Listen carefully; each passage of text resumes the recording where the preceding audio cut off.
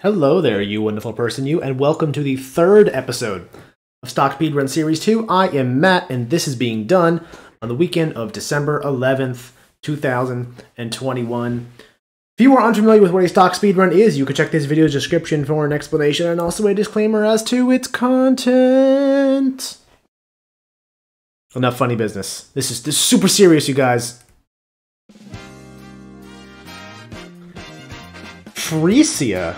I like this name. I, I kind of want to give this a buy just based on the name. It's cool. Alright, let's take... Ah! What happened here? It died. It died on the 9th. Why did it die on the 9th? Reports quarter 3 loss, uh, tops revenue estimates.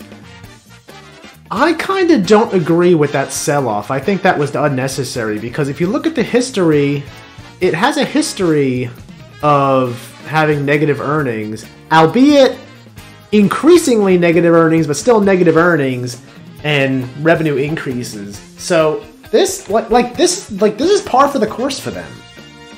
That's what this seems like to me. This is par for the course for this company. I don't see why it would have that big of a reaction. Here's a question. Did it have that big of a reaction to prior earnings reports? I wonder. Let me click on the chart. Let's see if I can figure that out. Go back six months. So that was the earnings report here. I'm guessing this was the last one. You know, volume spikes. Uh, Yahoo does not show me where the earnings report happens on the chart. Some platforms do. Yahoo does because it's stupid, but um, volume spikes are usually a good indicator of when earnings happen. So I'm guessing this was the last earnings here. It didn't really move all that much. Sure, it, it began a bit of a downslide, but um, I think a lot of stuff had that during this time frame. So it didn't react all that badly. Well, also, also, then again, it did, it did slide down from north of 70 uh, in November because November, November was a run, rough month for a lot of things. It did slide down. Actually, you know what? Did things start? Things didn't really start sliding. No, it was until after Thanksgiving that things started sliding. Did something happen? Uh, hold on. I want to see if something happened to this. Okay, first of all, wait. Let me let me go back and see the reason why I'm even here. So this was uh, earnings report. Earnings report. Um, I'm guessing this was the one before that. This is a very interesting chart, actually. They're back below their yearly lows. This was actually that's a 52 week uh, week low that it just hit. It was lower during during the pandemic months of last year, but that's its lowest price in a year. Huh, interesting. Um Yeah, what I was saying is that I wonder if something happened here that caused the downslide and then the earnings report just kind of compounded things. Let me go let me go back and see. What was that? Like mid mid November-ish? About about a month ago. About a month ago. Notable Phreesia Insider trades 420k in company stock, really. Now, they say trades. Was that a buy or a sell? If it was a sell, then I can see why fear may have settled in. Exercised options to purchase 5,451 for each shares at a price of oh well I mean they're saving they're saving money. Okay you know what? That's not really because they're they're not they're not buying it at the at the open market. This is a backdoor deal here. You're seeing buying for a price of 471 it's ridiculous. Yeah see they then sold their shares the same day on an open market. They sold at ranges because for because they're uh, because they're a cheater Cheaterson Cheaterson who cheats all the time. Ah okay uh, did I ever look at what this did? No, I did not. So what is this company? Integrated SaaS, uh, I believe, software as a service based software and payment platform for the healthcare industry. Interesting, interesting. So they're not healthcare; they're a payment platform for healthcare. So it's not it's not like insurance, right? But an integrated payment solution for processing of patient payments. It's a lot of p words. Try to say that five times fast. Five times fast. Payment solution for processing of patient payments. Payment solution for pro process pro shit. Um, what is this platform? Range of modalities. Okay, interesting. I mean, I, I say interesting. I'm just saying words out loud. I honestly don't really have much to comment on, like what the company actually is. Um, I could so so yeah. I don't know enough about this space to say whether or not it's a good company. It's a good space to be in, but just based on their finances, I'm saying no because they do nothing but lose money. Uh, negative earnings all the time. Although I kind of wish I could see uh, earnings prior to this quarter here. Maybe, maybe we maybe we positive. I mean, I, st I still doubt it. I still doubt it because they were negative on the year, just like they were the year before and the year before. Revenue increase. So this is this is an expenditure problem. This is 100% an expenditure problem because sure they can uh, they can grow their business, potentially grow their customer base. That might be where these revenue increases are coming from, but they just can't seem for the life of them to turn a profit. That implies to me that they do not have problem with income, they have problems with expenses.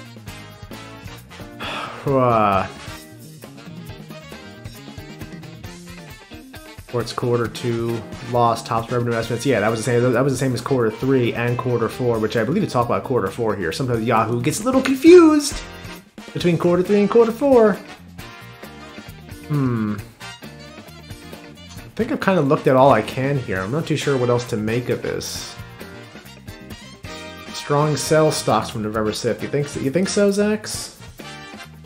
Why is that?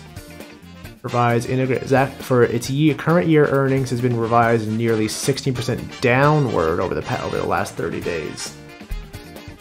Hmm.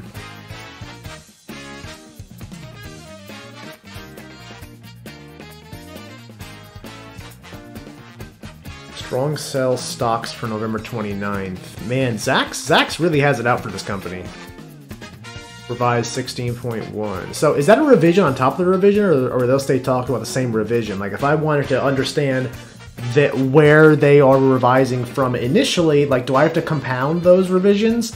I don't know. And you know what? I, I don't really care right now. Uh, investors paying above the intrinsic value. Yeah, you know what? Let me go look at some of these some of these statistics. It's, it's trading above enterprise value. Oh, my tab didn't open. I actually didn't even realize that I was my time was up. Um, must have spent too long talking. Eh, I have that problem. Hmm.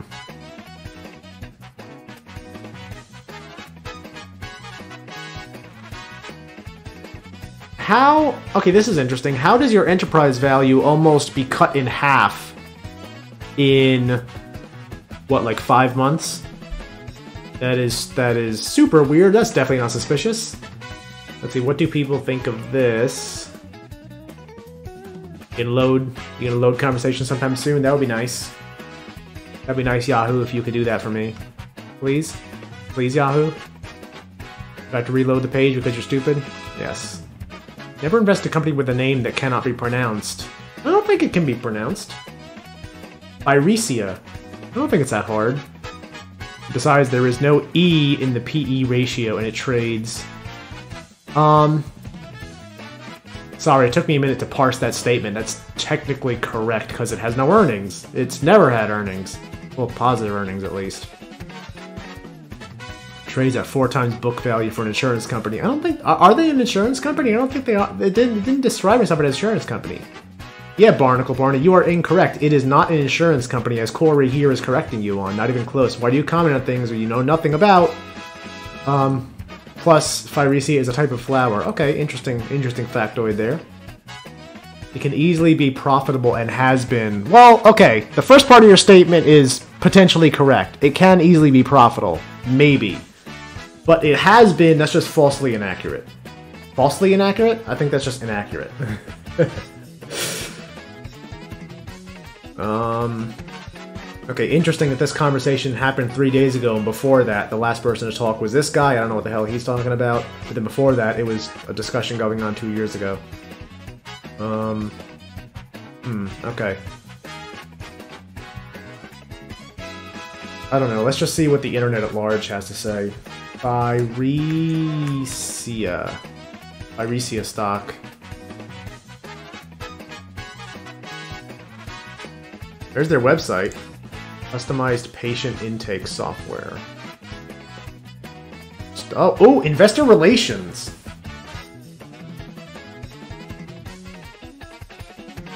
Okay, you give uh, you give some quotes. That's not terribly helpful. Um, I mean, you know what would be nice on this page? Maybe some information about how the company's doing, not just how the stock price is doing. I mean, yeah, sure, those two things are kind of intertwined a little bit, but one piece of information without the other is not very helpful. I am not feeling very enthused about this. It's not, it's not... This is this is another one of those ones where I feel like I could go either way. I can point I can point to the fact that they've never turned a profit and say this is a hard sell. But I can also point to the fact that they have um, increasing revenues, which uh, which which reflects uh, a growing customer base, and say it's definitely a buy. This is this is 100% growth.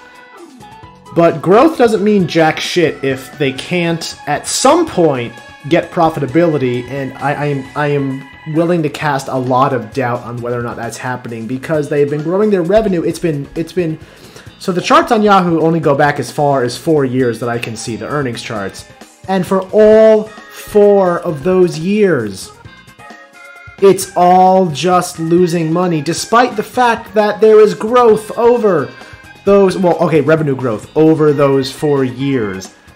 Something's not right here. Something is not right in this company, and I can't quite put my finger on that. I can tell what it's not. I can tell what it's not. It is not revenue. It is not potentially. excuse me. It is not potentially customer growth. There is something inside the company that is blocking it from making money, and I don't know what that is. And because I know I I know I, I know I said the words expenditure problem. That could be anything really. That could be anything.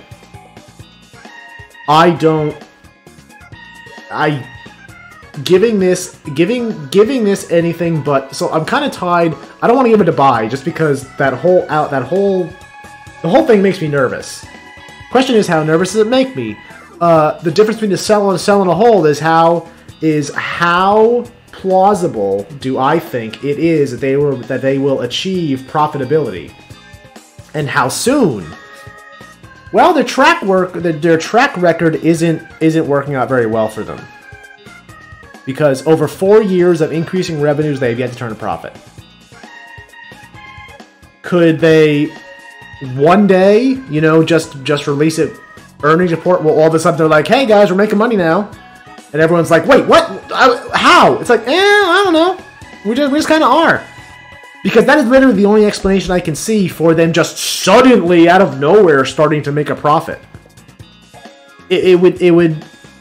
Uh, the only way I can see them starting to make a profit is, is if it would, is if it would be a slow burn. You know, they're not going to come out all of a sudden with a stellar and you know watch this happen and me being and me sounding like an idiot here, but I, I, I don't think at least that there's going to suddenly be an earnings report where they have a massive um, positive earnings, uh, a positive earnings um, number to show.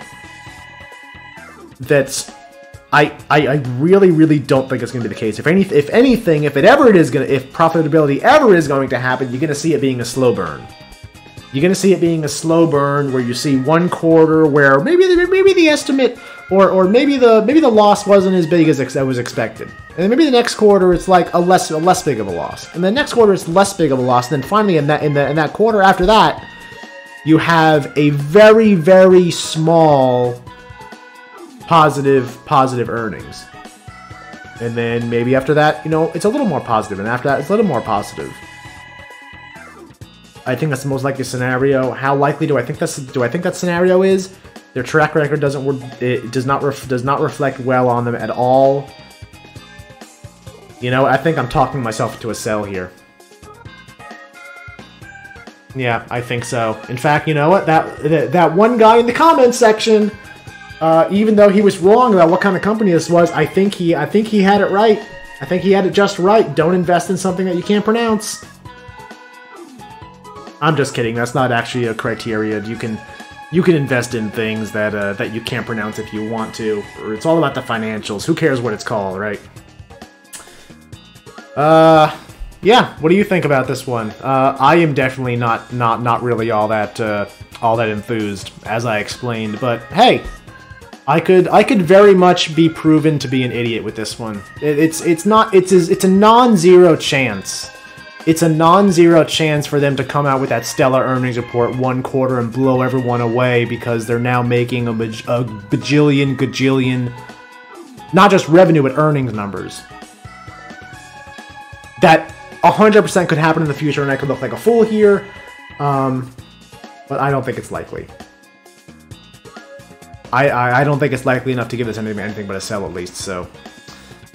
That's my take, and uh, I'll catch you in the next one.